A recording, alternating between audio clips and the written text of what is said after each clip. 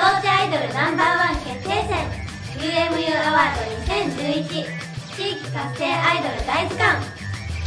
ところで UMU ってどういう意味 UMU っていうのはアンダーメジャーユニットアイドルの略。いわゆるこれからメジャーを目指す全国各地のご当地アイドルって意味だよね。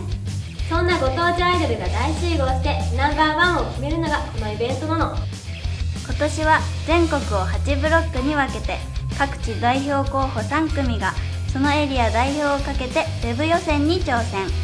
各エリア代表の8組と選考委員推薦の2組の合計10組が年末12月27日に東京で行われる決勝大会にてご当地アイドルナンバーワンの座をかけて戦います。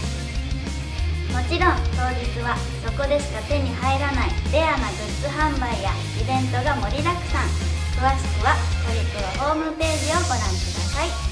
ぜひ応援しに来てください。皆さん待ってます。